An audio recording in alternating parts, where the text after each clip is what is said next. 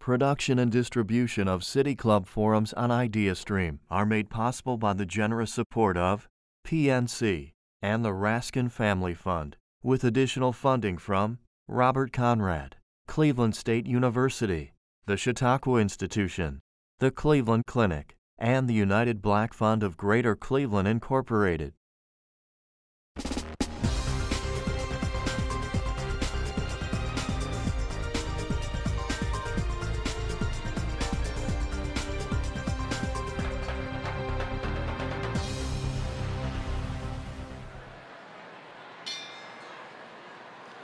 Good afternoon. Good afternoon and welcome to the City Club of Cleveland. I'm Robyn Minter Smyers, a partner at Thompson Hine and president of the City Club's Board of Directors. I'm pleased to welcome you to the annual State of the Schools Address, the City Club forum where we come together to hear about the health and progress of one of our region's most important assets, the Cleveland Metropolitan School District. Our speaker is Eric Gordon, the district's chief executive officer. Since passing the 15 mil levy that funded the Cleveland Plan for transforming the schools five years ago, the Cleveland schools have been steadily improving. The most recent report card from the Ohio Department of Education shows progress. Graduation rates in the Cleveland schools are now over 78 percent, an increase of 26% since the inception of the Cleveland Plan, with significant improvements.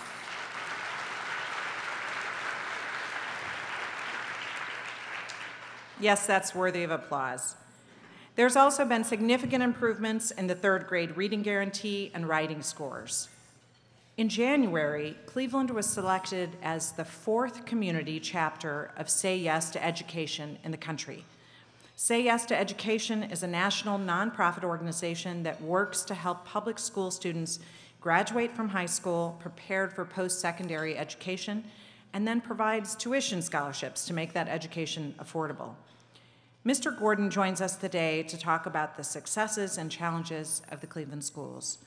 We can expect to hear an update on how the Cleveland Plan is working and learn more about the district's plans and priorities for assisting our children to achieve their full potential. Esteemed guests, members, and friends of the City Club of Cleveland, and concerned citizens of Cleveland, I present to you for the 2019 State of the Schools Address, Eric Gordon, Chief Executive Officer of the Cleveland Metropolitan School District.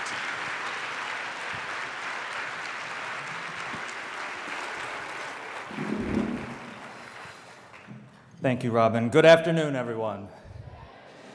So we do this every year. I'm a school guy. Good afternoon, everyone. There we go. There we go. I am really privileged today to deliver my ninth State of the Schools address to this distinguished audience of educators, families, partners, stakeholders, and supporters of the Cleveland Metropolitan School District.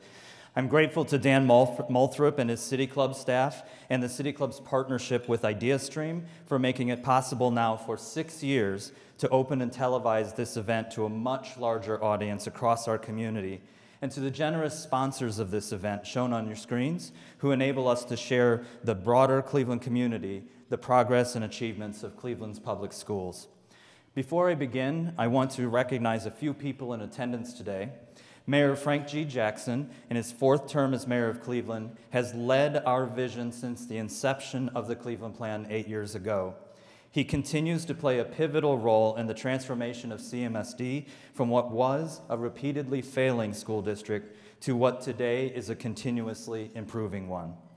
Instrumental in the progress as well it, over the last nine years has been the consistency and outstanding leadership of the Cleveland Board of Education. Our board is known and recognized nationally for its unparalleled service and dedication to public education. With us today are board chair Anne Bingham, Vice Chair Robert Heard, and board members Denise Link and Sara Elaqad. Also with us today are community partners who helped to shape and who continue to support the Cleveland Plan, and more recently to support our efforts to bring Say Yes to Education here to Cleveland. The Greater Cleveland Partnership, the Cleveland Foundation, the George Gund Foundation, the Cleveland Council of Administrators and Supervisors, the Cleveland Teachers Union, Breakthrough Charter Schools, the City of Cleveland, County Executive Armond Budish and Cuyahoga County, the United Way of Greater Cleveland, and College Now Greater Cleveland. Thank you all for your incomparable support of public education over the past nine years, and in particular for all you've done the last two years to secure the game changing services, supports, and scholarships for students and families, making say, Cleveland a say yes to education city. And we all owe a debt of gratitude to the people of the Cleveland School District, whose support of Issue 107, Issue 4, and Issue 108 has enabled us not only to implement and sustain reforms outlined in the Cleveland Plan, but also to modernize and revitalize schools across the city. Please help me thank all of these people, both here today and across our community, for their tremendous ongoing support.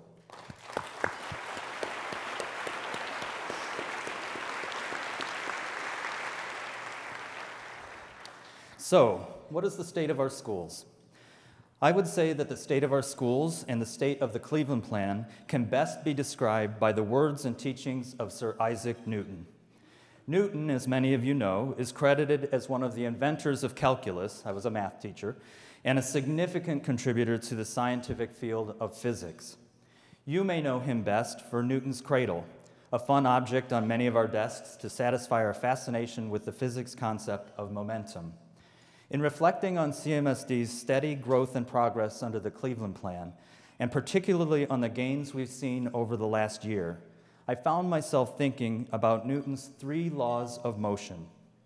Newton's first law, which explains inertia, states that every object in a state of rest will remain in that state of rest, and any object in a state of uniform motion will remain in that state of motion unless an external force acts on it.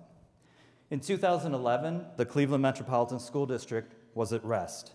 Ranked last out of Ohio's 609 school districts, we were financially bankrupt and had lost all public trust. Civic and business leaders and citizens, residents, and taxpayers across our district and community had given up hope that CMSD could achieve anything higher than last place in the state.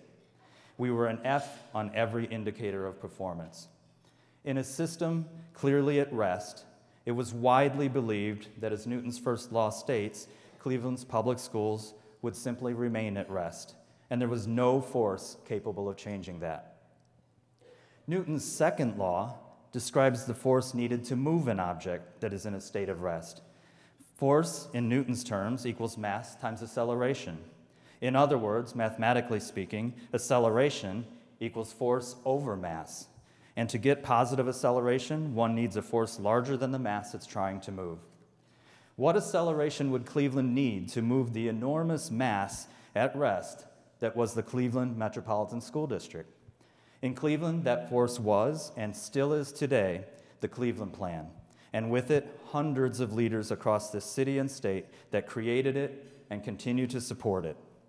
And as Newton's first law predicts, once the force of the Cleveland Plan was applied to the mass of the district, CMSD began moving, continued to move, and is continuously moving today.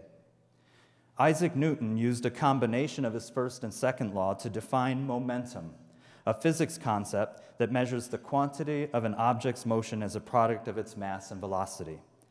So, what is the state of our schools today? Well, I would say that in Newton's terms, the mass, that is the Cleveland Metropolitan School District, is not only accelerating its progress, but it's gaining momentum.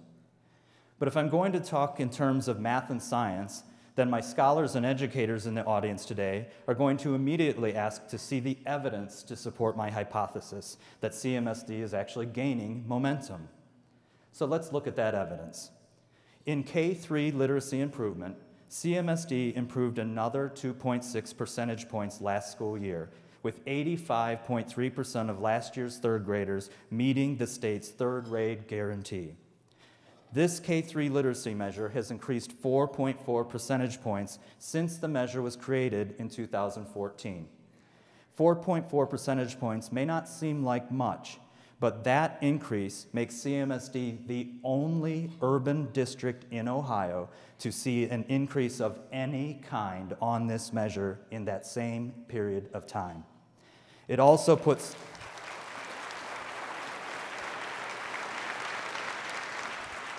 It also puts CMSD in the top 15% of growth among Ohio's 609 school districts. And the 85.3% proficiency rate in third grade reading was earned by a class of students who, when entering kindergarten, showed only 33% were kindergarten ready for literacy. That's momentum. CMSD's Performance Index, a score measuring reading and math in third through 12th grades, has consistently increased for four consecutive years, up 5.4 percentage points since the new, more rigorous Ohio State tests were put into place in 2016. The growth we saw is the second largest gain among Ohio's urban districts. It positions CMSD among the top 25 fastest improving districts in Ohio, placing us in the top 4% for growth on this measure statewide. And that's momentum on Ohio's gap closing measure, a measure added to the report card in 2016. CMSD moved from an F in 2016 and 17 to a D in 2018, and with another seven point gain last year to a C in gap closing on this year's report card, meaning the performance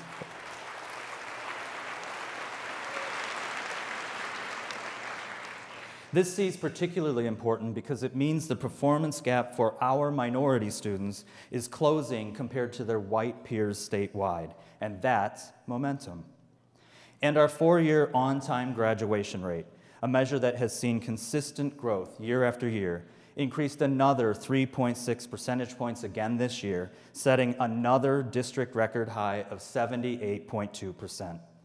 This marks the ninth straight year of improvement in our graduation rate, a 26 point gain from 52.2% in 2011 to the 78.2% today. And with a national average at 84%, CMSD is quickly closing that gap. Our four year graduation rate showed the fourth fastest growth in Ohio out of 609 school districts, ranking us in the top 1% of growth statewide and our five year graduation rate of 81.5% is the highest graduation rate for any urban district in Ohio. For a district that so not, not so long ago was dead last among these districts, that's momentum. Together, the momentum we are seeing from kindergarten to third grade literacy improvements, the momentum we are seeing on test scores from third grade through high school, and the momentum we are seeing on continuously increasing graduation rates earned us an overall grade of D on this year's report card, up from the F we earned last year. I want to make it clear we are not celebrating a D. All that moving from an F to a D tells us is that we continue to move upward, but that we also have a lot more yet to achieve. However, even our harshest critics must acknowledge that while we have not yet arrived, we are certainly on our way. Being among the fastest improving school districts in Ohio on K 3 literacy, performance index, and graduation rate, that's momentum. But what does it all mean? What does a D school district really look like? Well, in the John Marshall School of Information Technology, students recently upgraded a website for the Federal Bar Association of Northern Ohio and then created an app for the Bar Association to use to make their website mobile friendly. And these students are doing that work on computers they actually built themselves. Special education students in 5th through 8th grades at Clara E. Westropp School run their own cafe that is open to staff and parents. The students apply, interview for jobs, use what they learn in life skills and math classes to take orders, prepare food, and manage cash registers. Students at Aerospace, Davis Aerospace and Maritime High School, with access to flight simulators and a rescue boat, focus their students in STEM, their studies in STEM education across these two vital industries in Cleveland. And this summer, junior Sydney Marie Flowers flew her first solo flight, earning a federal flight certificate through this innovative high school.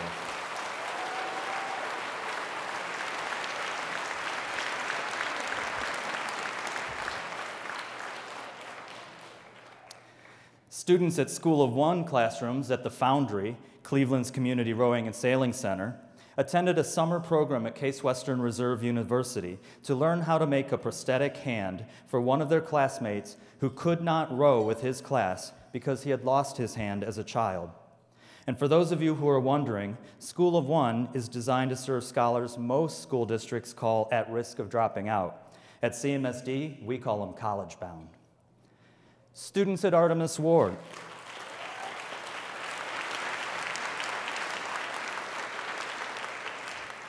Students at Artemus Ward use art and music to create a stop animation film that can be presented on an array of TV sets that project the students' work with a soundtrack written by their principal. Their class production will be showcased at Cleveland's Ingenuity Fest this coming weekend. At Max Hayes High School, students developed synthetic gasoline, put it in the gas tank of their teacher's car, and watched as he successfully drove the car home that night and back to school in the morning.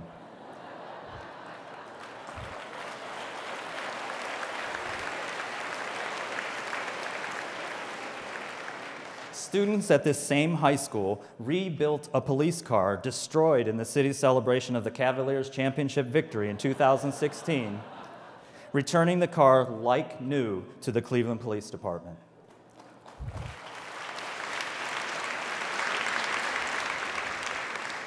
Middle school students at Daniel E. Morgan School, as part of an after school program sponsored by Central State University, planted seeds in a tower garden to study how plants and vegetables grow without soil.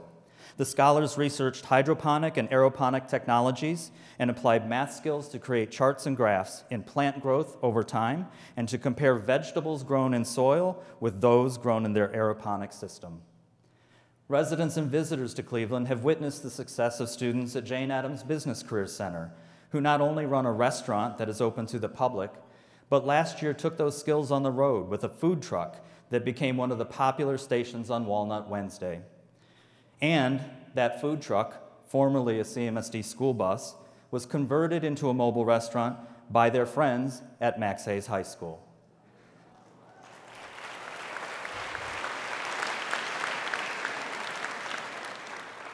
Logan Williams, a sixth grader at Wade Park School, created a program called Blanket Blessings, in which she collected over 300 blankets to personally hand out to homeless adults and children, along with care bags she keeps in her mother's car.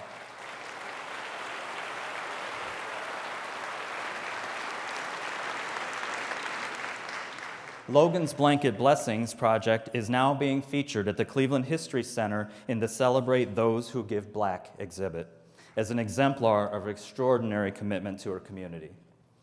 Students at Cleveland School of the Arts wrote and produced their own play about gun violence in America. Their production, The Right to Bear Arms, was presented in the school's black box theater for not one, but two consecutive runs of standing room only audiences and was followed by a discussion where the audience engaged with the performers about gun violence and gun control efforts across this nation. Some of the students, teachers, and principals from these schools are here today. Would each of you please stand to be recognized? All of those young people that were featured today.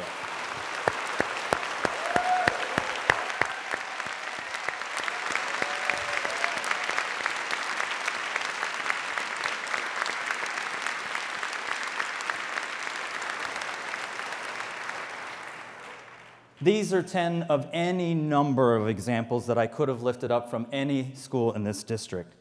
While it may be difficult to know what a D means on a state report card, you only need to visit a classroom in the Cleveland Metropolitan School District to see and feel the difference and understand what momentum is, what it looks like in action, and what impact these changes are having on the way Cleveland's kids think, learn, and act. Each and every day, our scholars take on complex academic tasks like these that are not easily measured by test scores as they find increasingly, increasing opportunities to demonstrate their learning authentically. And our educators work hard to create joyful and adventurous classrooms where this more complex learning can occur every day for every child. In fact, would all of the CMSD students and educators here please stand and be recognized since I couldn't lift every example of the great work you're all doing. Please, students and educators.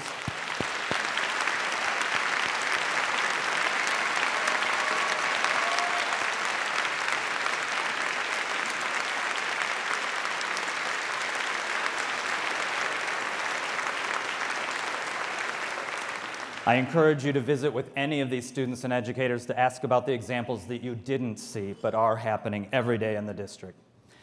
Even as we've been gaining momentum over the past nine years, the people of Cleveland have continued to increase the force applied to our success. Last January, we reached another significant milestone. After hundreds of people from across our community worked tirelessly behind the scenes for over two years to, to position us to become a Say Yes to Education city. Mayor Jackson called the Say Yes to Education the next logical step in the Cleveland Plan and it is. I am pleased to share that the Say Yes Cleveland office is now open. The first round of Say Yes to Education scholarships are out the door, and the first 16 Say Yes service and support schools are now in place. Even those who are part of our two year quest to become a Say Yes city sometimes find it difficult to explain to others all that Yes to Education can do for our kids and our community. I would describe it simply as creating for Cleveland's children and families the capital and social capital that middle and upper middle income families already enjoy. I'll explain using four quick examples. A few years ago, a student from Mound School in Slavic Village missed large numbers of days because he made, needed to make frequent trips to the emergency room to, to treat his acute asthma. But when, he, when we established our partnership with Metro Health to install a school based health clinic at Mound, our school and hospital staff were able to provide him with primary care before he had acute asthmatic attacks. His attendance increased dramatically, and so did his grades. By providing health and mental health services in our schools, Say Yes will provide for our scholars the access to primary health care that most of us in this room already enjoy. That's the capital Say Yes brings to our schools. Last year, I worked with another student who boarded the RTA Health Line but didn't pay the $2.25 honor system ticket for the ride. He got caught and arrested. He was released but had to go to court to schedule a hearing where he would be sentenced for the crime. The student didn't show up for the case, and a $5,000 warrant was issued for his arrest for a $2.25 bus ticket.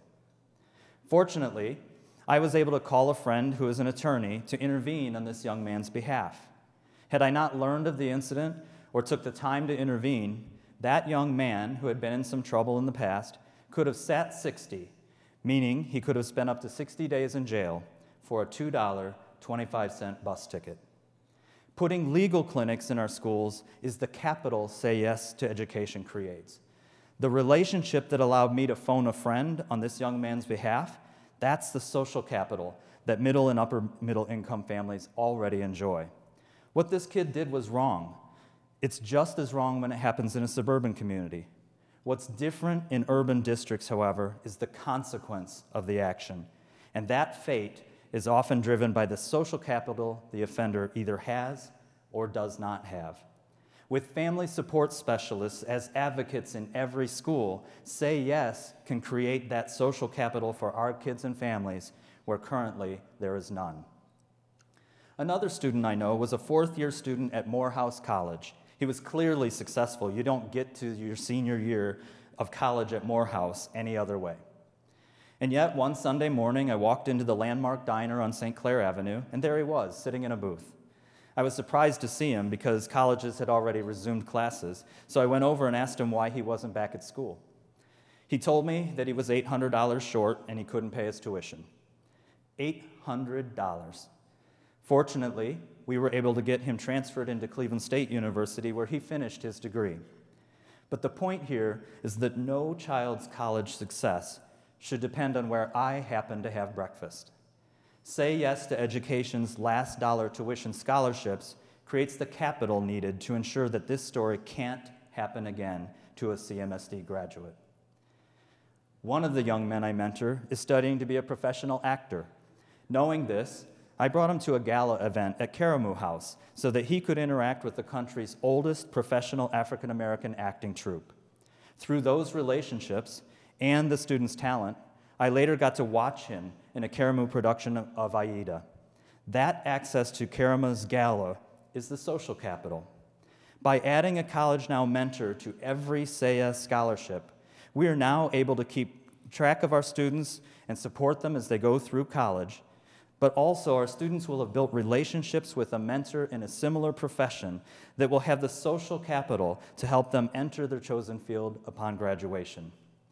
With the added force of Say Yes to Education, we are certain to continue to gain momentum year after year toward our goal of ensuring that every child in Cleveland attends a high quality school and that every neighborhood has a multitude of great schools from which families can choose. I started the speech today by talking about Newton's laws, but up to now I haven't mentioned Newton's third law. For every action, there is an equal and opposite reaction. That law implies that our momentum can be stopped if an equal and opposite reaction is applied. So, why is that important? For me, at least, it's an important reminder that we cannot rest. It's a reminder that we must maintain and build upon our momentum, but at the same time, pay attention to the forces that threaten to slow us or even stop us. We must, for example, keep in mind that the 15 mil levy supported by district taxpayers for the past seven years expires next year. Without the continued trust and support of taxpayers, all the momentum we are gaining can be lost. It also means we must continue to examine not only the quality of our schools, but also the number of schools needed across all sectors of our community, whether they are district, charter, or parochial schools, so that we can spend our community's precious resources more deeply in fewer schools instead of spreading them thinly across more schools than we need. It will also mean that we need to ensure every Clevelander, and especially every Cleveland child, is counted in the critically important upcoming U.S. Census that will guide federal and state funding.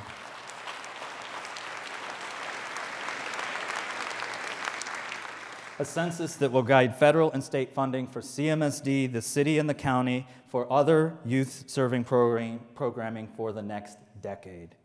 We cannot let an equal and opposite reaction of any form disrupt our momentum.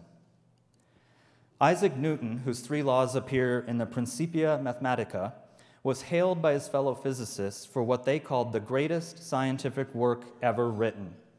And yet, his work was widely attacked on metaphysical grounds. To differentiate the two, one writer describes it this way Physicists want to understand how a rock falls to the ground. Metaphysicians want to know what it means to be a rock. Newton's three laws help us to understand why the rock falls to the ground and why planets go around the sun. To set a rock in motion, I must first reach for it and pick it up or push it. I cannot simply will the rock to move. Similarly, gravity sets a falling rock in motion, but does it by imparting a force from a distance. But while Newton was adept at explaining the laws of gravity, he stayed carefully away from trying to explain what gravity actually was. Gravity explains the motion of the planets, he said, but it cannot explain who set the planets in motion.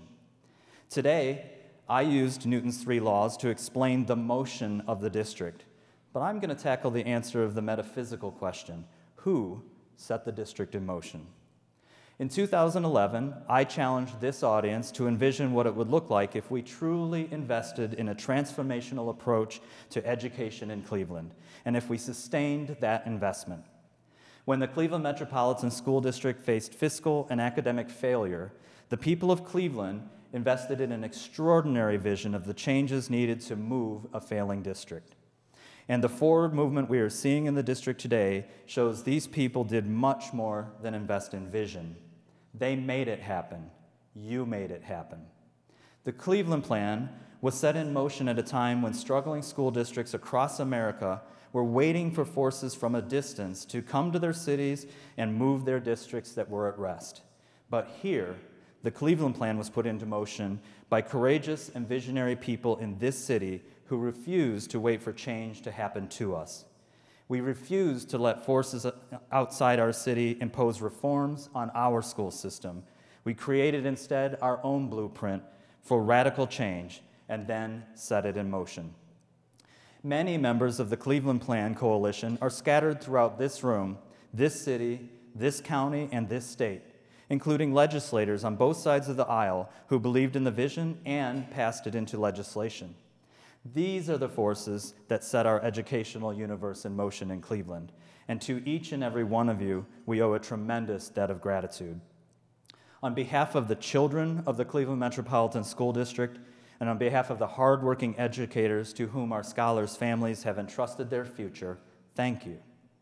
Thank you for believing in them and in us. Because of your vision, your investment, your ongoing commitment and support, CMSD is a vastly different place than we were in 2011. And now, as a Say Education city, with the scholarships and family support services it brings to our community, our momentum can only accelerate. How? By applying a strong contravailing force against the greatest threat to our children's success and future poverty. To the people in this room and across this community whose vision and unwavering support brought us here, I am happy to report that the state of our schools is stronger and measurably better than at any time in recent history. Each of you helped to put the district in motion, so now let's accelerate our gains. Let's build on that momentum. Ladies and gentlemen, thank you. Thank you and have a good day. Today at the City Club, at the Renaissance Cleveland Hotel, Eric Gordon, CEO of the Cleveland Metropolitan School District, is presenting the 2019 State of the Schools Address. We're about to begin the audience Q&A. We welcome questions from everyone. May we have the first question, please? Uh, good afternoon. My name, my name, is Merle Johnson. I'm a member of the Ohio uh, Board of Education, and I want to congratulate you on the continuous improvement. And thank you for mentioning the importance of the census. Um, my question is, yesterday I was talking to someone about the wraparound services that are so important in the Say Yes to Education program. They mentioned that the person who was coordinating those services, uh, one of the requirements was they had to have a master's in social work. And I don't know if that's correct, but could you talk about the requirements for the person who's going to be actually coordinating the wraparound services for Say Yes to Education? Certainly, thank you very much. So the services are coordinated by a family support specialist who is actually employed by Say Yes, so independent of the district. Um, and they do uh, require a, a, master's degree in social work because of the kinds of needs and supports they'll provide to families. Uh, the, student, the, fa the, family support specialist is then able to work with every student and their family with a database of over 3,500 services that are available in Cleveland so that if a student presents with any kind of need, they can immediately access that database and match that student with the service. So in addition to the service being brought into the school, the health and mental health, the legal services, after school programs, if a child doesn't have food, that social worker can access the food bank and the food pantries. If they don't have glasses, they can find an optometrist. So it's very much a case management protocol using the, the um, responsibilities of a trained social worker. Thank you. Thank you.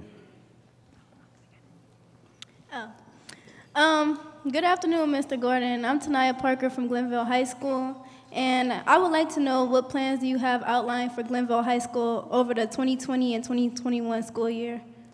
Certainly, thank you. So first, since Glenville's up there, I almost had Glenville in the speech because they actually uh, did a documentary on the Glenville riots where they actually traveled to Alabama to interview people uh, from the riots. So this is another demonstration of great learning, so congratulations, Glenville. Um, I want to say you asked the right question at the right time. This Saturday, we are starting community meetings that will go on through uh, September, October, and up to November, where we're going to be talking about Glenville and all of our high schools to determine the long term strategy um, past this school year with all of our high schools. So, the current answer to your question is I don't yet know because I'm going to the community to gather feedback and input. So, I would encourage you to attend those meetings. They're all the same, so you can attend the one that's closest to you and make sure that we have your input. And then we'll come back to the community in November and update the community on our proposed plans for next year and beyond. Thank you for your question.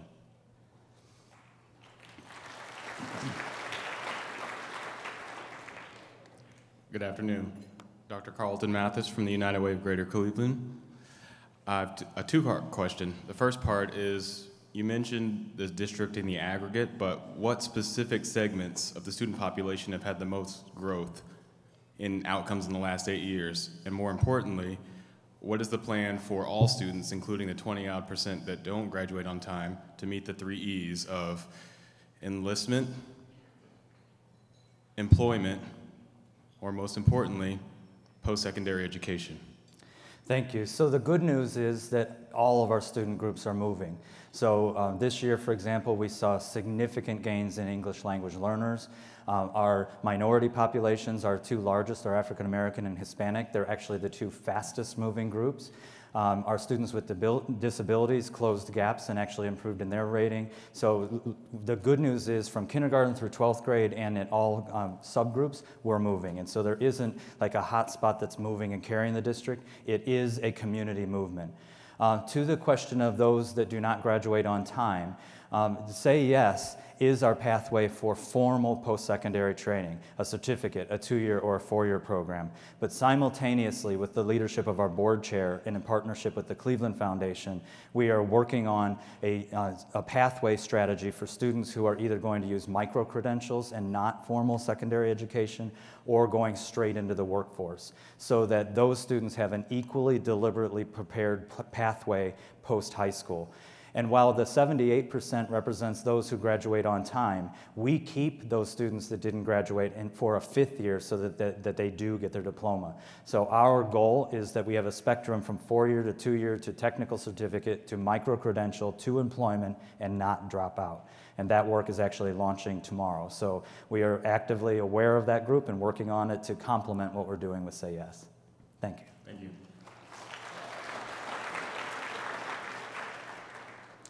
Um, good afternoon, Mr. Gordon. Um, my name is Charlie Lewis. I'm from Cleveland School of Science and Medicine.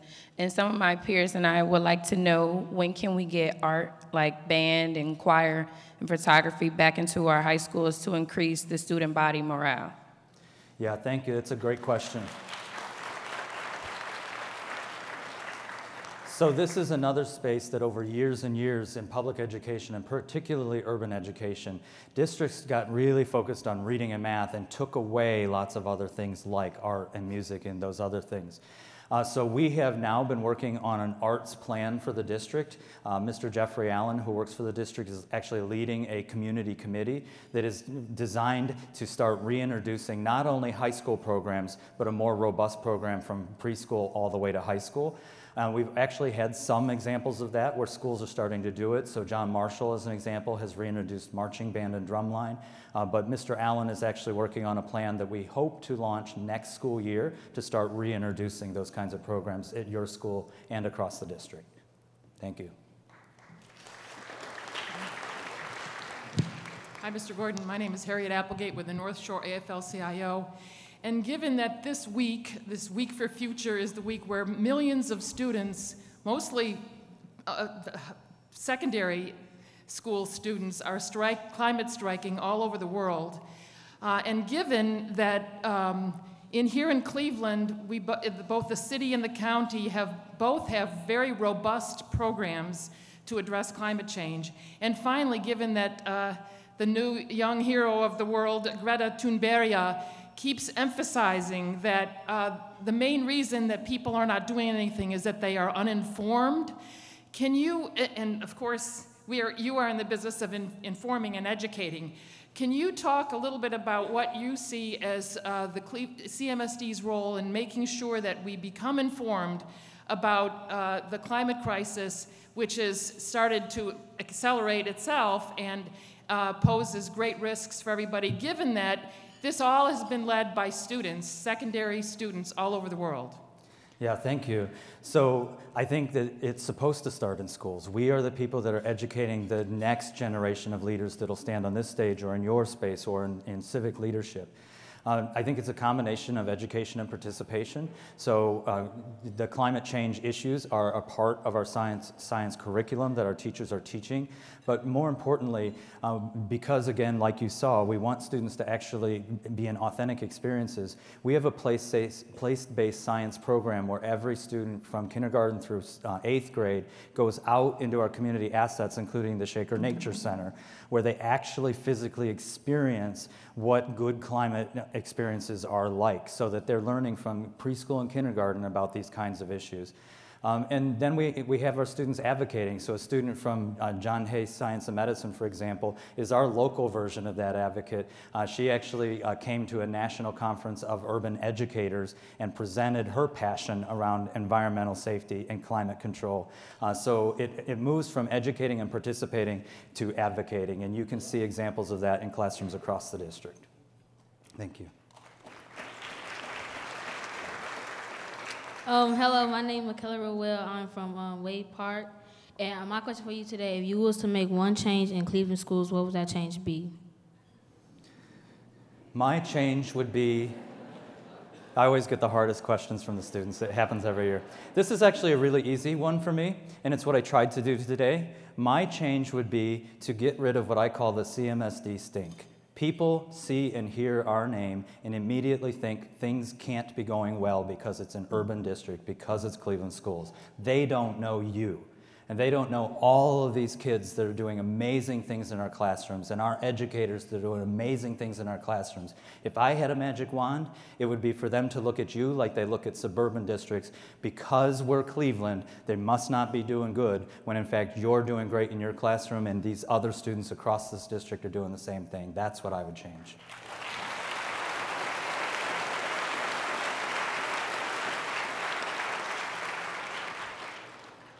Hello, my name is Megan Thompson. I am the Senior Programs Manager at Center for Arts Inspired Learning. Uh, I'm very excited for the Say Yes initiative here in Cleveland, and we've heard a lot about the wraparound services that are going to be provided K through 12, as well as the scholarships. But I was wondering if you could speak a bit to what measures are in place to ensure students are choosing an appropriate college and college program and preparing them for success once they reach college. Yeah, thank you for that question. Um, so we are uh, we have to remember that Say Yes is both an immediate and a long-term strategy. So we have to be thinking about what we're going to be doing 20, uh, 25 years from now, even as we're doing something immediately.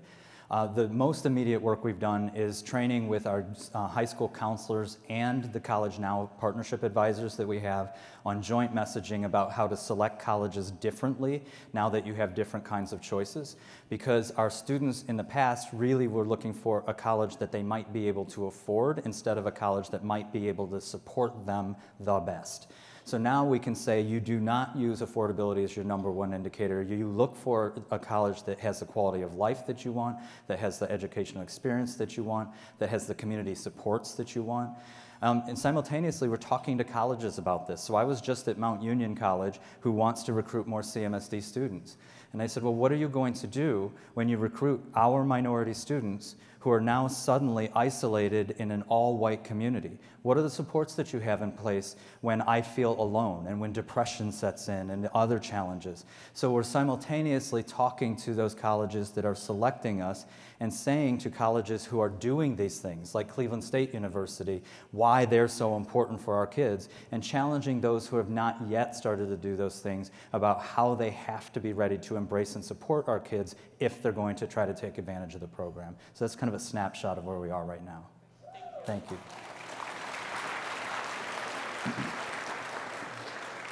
Good afternoon, Mr. Gordon. My name is Dan Cohen, and I'm from Wade Park School. And my question for you is, what is your favorite part of your job? my favorite part is you. It's being in the schools, being uh, getting to interact with the work that you're doing and visiting in your classrooms. And, um, you know, whenever I have a really, really bad day, I just drive to the nearest school I can and I get inside and suddenly my day's a lot better. Uh, I had um, on Tuesday was our board business meeting at Harvey Rice School, and I had a really tough day that day. It started at 5 a.m. We were dealing with some tough issues, um, and I frankly was not loving being at the board meeting. Sorry, board members. and then, and then the cheer squad and steppers came out and, de- and demonstrated their learning in just these few first weeks of school, and I immediately felt better. So it's you. So thank you.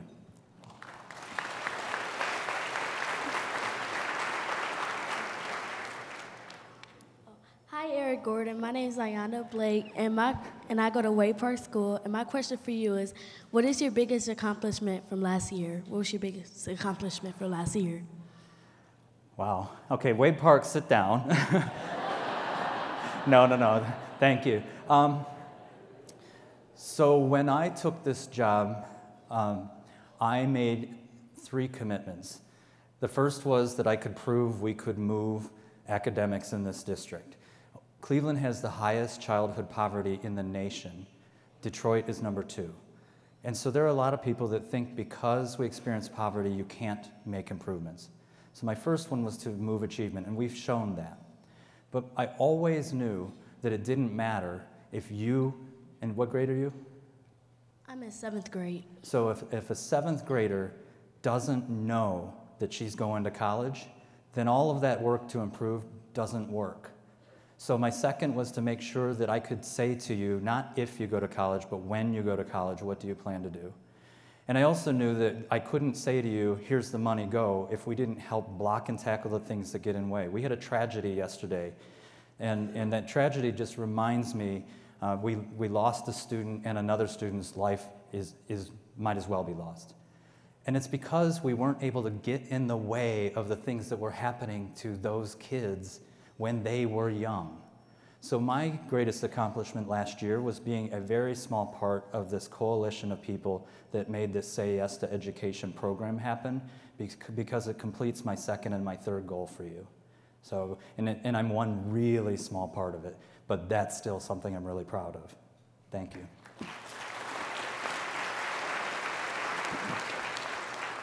Good afternoon, Mr. Golden. My name is Liliana Nelson. I'm a senior at Facing History New Tech. And as a student at Facing History New Tech, I speak on behalf of not only the student body, but the needs in my community. We have a. You're doing great. I don't, know. I don't,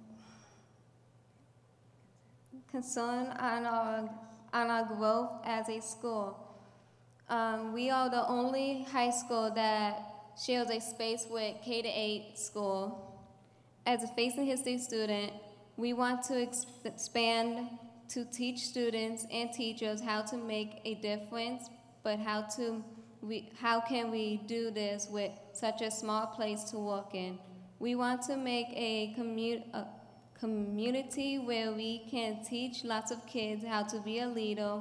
We still want to be in the Old Brooklyn area, but we want to expand and do. Oops, I lost my spot. That's all right. Ex- so you need a bigger home, is what I'm hearing you asking me, right? Yeah. So,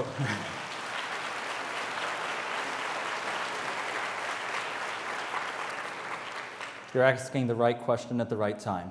So, like I shared with the Glenville student earlier, this weekend on Saturday, we're actually starting community meetings across both the west and east sides of the city to talk about our high schools, all of them, including Facing History, to look at what are the long term homes for our high schools, uh, where do programs land. We know, for example, that Facing History is a, a cherished part of the old Brooklyn community. So, how can we think about uh, the potential of a new K 8 school that might create space in the Mooney building and then repurposing the Mooney for your school, as an example? Those conversations are starting this Saturday, so I would encourage you and your school community, students and adults alike, to attend one of those meetings. That all five are the same, so you don't need to attend five times, but attend one of those on both the first and second round so that you help inform the decisions that I'll ultimately bring to the board on your behalf. Thank you.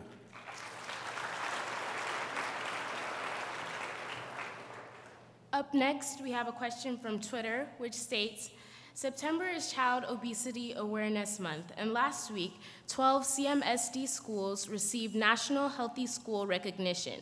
How is CMSD continuing to build momentum to build a culture of health that improves academic performance? Thank you.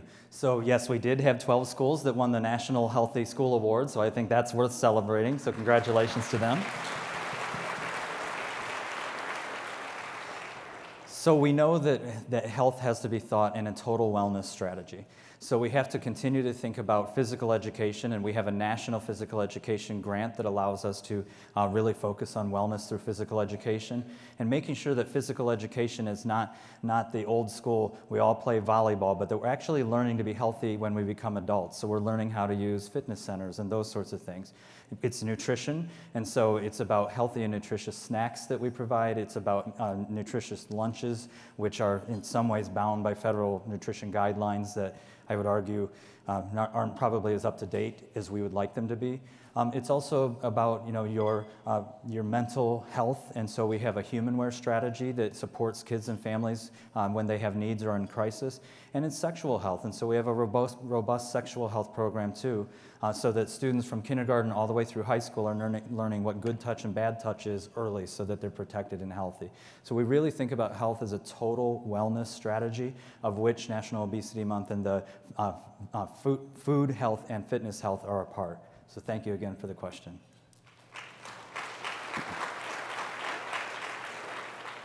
Good afternoon, Mr. Gordon. My name is Jade Del Orbe, and I am a junior facing History Tech. A tragic event happened in our neighborhood yesterday afternoon. Sadly, a young man died just a block or so away from our school due to violence. What is CMSD's response to care for the students who are affected when such things happen? Is there an, an increase in police response on the streets? Does the district send support staff to schools for emotional needs? We just want to be safe. Yeah, so I mentioned earlier that we had a tragic loss uh, of a student death and then another student whose life is forever changed because of his involvement. Um, unfortunately, those things happen in our community still far too frequently, and it needs to be both a district and a community response because the student is, is a student of our school for six hours a day. They are a resident of our community 24 hours a day. Um, in tragedies like that, we have a protocol called the Rapid Response Team. Uh, we deploy a number of school psychologists and grief counselors, so those um, people were deployed to our, uh, the school that was involved today, and they will stay on site uh, until the school community tells us that they're no longer needed. In fact, literally before I stepped on this stage, I was texting with the school to make sure they had enough support in place. We also increased our CMSD police presence so that people felt the physical safety um, and are working very closely with the Cleveland police, uh, who actually uh, increased their presence in the community so that there's a, a physical presence. But we have to solve this, as I said earlier, by getting in front of the things that cause young people to feel like this is the only choice they have. Because we, we do not have the resources, the district or the city, to chase around people after these tragedies have happened. We've got to keep working to get in front of them. And that's when you're going to feel really safe, is when you know that kids aren't feeling so desperate that the only resort they have is the tragedy that occurred yesterday. So thank you again for your question.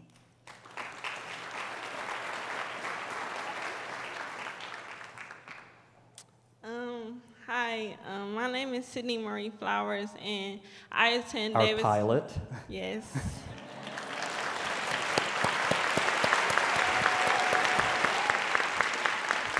um.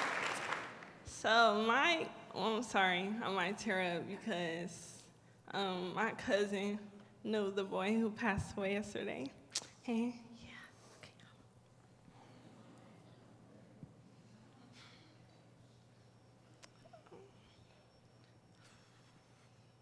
I'm sorry.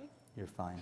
Okay, so um, my question actually came up from um, when you spoke about the boy who was going to go to jail for um, a bus ticket.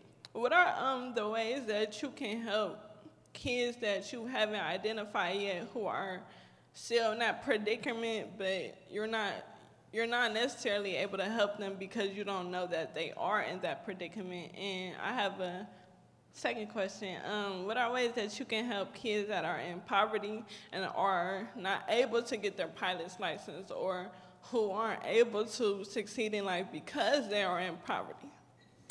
Yeah, so the, the program that I was explaining earlier called to Say Yes to Education, that's our long-term response, and it is a long-term because we can't undo everything that's happened by living in poverty in a minute, right? Um, but what we're trying to replicate is I won't ever get to know all 37,000 of you. I wish I could, and, and I think of you as my own kids. My wife knows it because we have some that now we have grandkids. Um, but the reality is, I, I will never actually know every one of you and will not be able to say, oh, something happened, I'll get in your way. So over the next four years, we're implementing these family support specialists in every school so that you have somewhere to go as a, a kid and say, I'm in trouble. I got in trouble and I need help. What do I do? Um, because you deserve that place to go, just like anybody who has the resources to go to mom and dad and say, Mom and dad, I'm in trouble. So that's those family support specialists. And as far as making sure uh, kids in poverty have access to that pilot's license, we are committed, um, and we, we think of every single student as a student in some level of need. And so the district will put the resources behind that license so that it's not only available to you, but it's available to others. And we do that with partnerships with people in these rooms. Uh, the, the people in these rooms are very, very generous in creating, you know, that when I say, I've got this kid that could qualify for their aviation flight certificate, but they can't pay the fee, they show up and they help us. And so um, it, it's a short and long term game, but those family support specialists are really intended to be one in every school that, that you can go to and say, here's my $2.25 bus ticket. It was a stupid thing to do. What do I do now? Because you know what? Adults do it too, but we all do dumb things sometime, and we need a way out. And that's what this is supposed to do for you. And congratulations again. Today, the City Club is at the Renaissance Cleveland Hotel, where we have been listening to Eric Gordon, the CEO of the Cleveland Metropolitan School District, present the 2019 State of the Schools Address. And that brings us to the end of today's forum. This forum is now adjourned.